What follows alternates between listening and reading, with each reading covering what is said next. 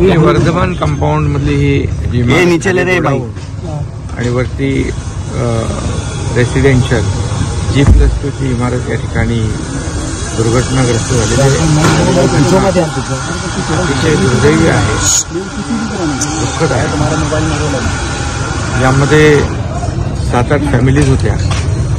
आणि जवळपास जेव्हा इमारत पडल्यानंतर महापालिकेची rescue team ठाण्याची T D R F N D R F हे सगळ्या ज्या रेस्क्यू टीम आहेत फायर ब्रिगेड अशा सगळ्या पोलीस यंत्रणा तात्काळ या ठिकाणी पोहोचल्या. आणि जवळपास बारा लोकांना याच्यातून इमारत पडल्यानंतर बाहेर काढले त्यातले सुदैवाने नऊ लोक जिवंत बाहेर निघाले. तीन लोकांचा दुर्दैवी. आणखी काही लोक असण्याची सात आठ लोक असण्याची शक्यता यामध्ये आपल्या टीम अधिकाऱ्यांनी व्यक्त केलेली आहे. काम रेस्क्यूचं मदत कार्य सुरू आहे. आणि N D R F T D R F आणि आणखी आपली जी काही टीम आहे रेस्क्यू टीम काम करते जे कोणी आतमध्ये असतील त्यांना जिवंत बाहेर सगळे आपली रेस्क्यू टीम करते इमारत पडल्यानंतर बारा लोकांना बाहेर काढलं. हे देखील एक या टीमचं यश आहे. झालेली घटना अतिशय दुर्दैवी आहे.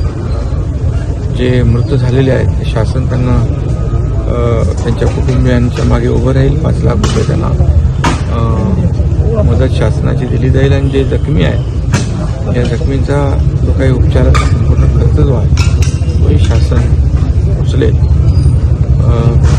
शेवटी ही झालेली घटना अतिशय दुर्दैवी आहे.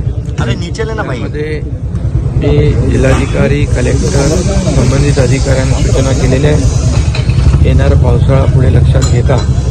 ज्या अति धोकादायक इमारती आहेत जर्जर झालेल्या आहेत. केव्हाही पडू शकतात अशा इमारती. सर्वे करून त्या इमारतीमधील रहिवाशांना सुरक्षित स्थळी हलवण्याच्या सूचना दिलेल्या आहेत. आणि त्याचबरोबर शेवटी या भिवंडीमध्ये देखील किंबहुना इतर शहरांमध्ये पावसाळ्यामध्ये अति धोकादायक इमारती पडण्याचे जे काही जे प्रकार आहेत दुर्दैवी घटना यापूर्वी झालेल्या त्या लक्षात घेऊन अति धो धोकादायक इमारतीमधले रहिवाशांना सर्वप्रथम सुरक्षित स्थळी शिफ्ट करण्याचा निर्णय किंवा सूचना या ठिकाणी दिल्या.